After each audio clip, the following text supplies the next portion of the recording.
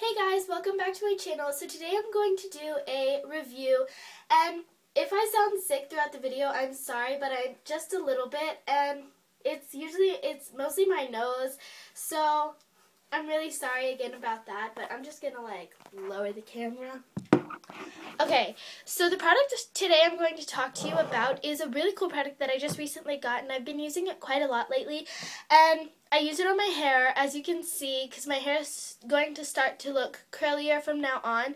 Like every episode is, every other episode is probably going to have curly hair but um, it is a curling wand, and the curling wand that I got was from Remington, and it is a pearl coated one. This is what it looks like, and a lot of the other curling wands that I've seen aren't pearl coated, and what the pearl does is it helps your curls last longer and look like smoother and shinier and this thing really does. Like I did these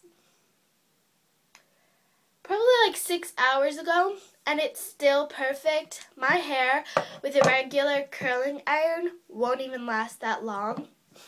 But this, this really works and I really, if you're looking for a good price, like a good quality but kind of a cheaper price curling one, I really suggest this one. This one is just the um, one inch to one and a half, no, one inch to half inch and then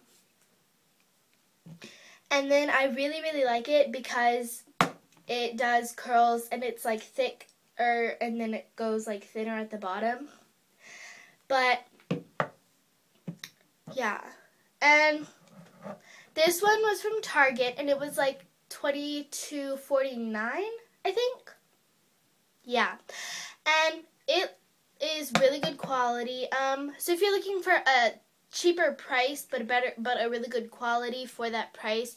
I suggest this one. It's Remington and it's pink.